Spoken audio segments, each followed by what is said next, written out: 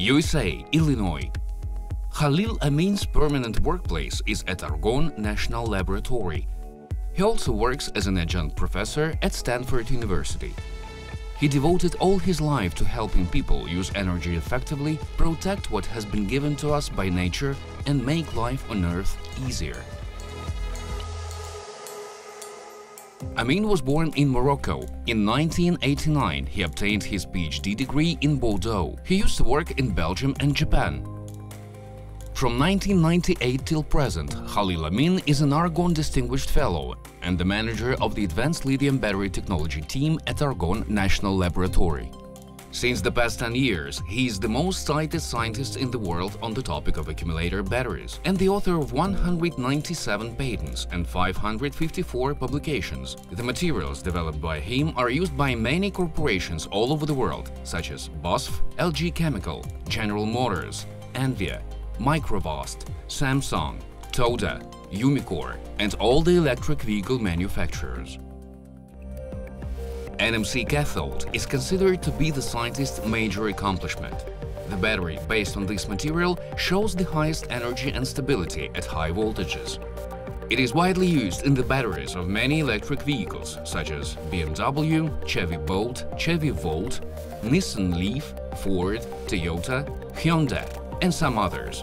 One of Amine's latest innovations is a new superoxide battery closed system. It is capable to yield up to five times more energy than lithium-ion batteries. Scientists from all over the world think it should lead to a sharp increase in the number of electric vehicles in the future.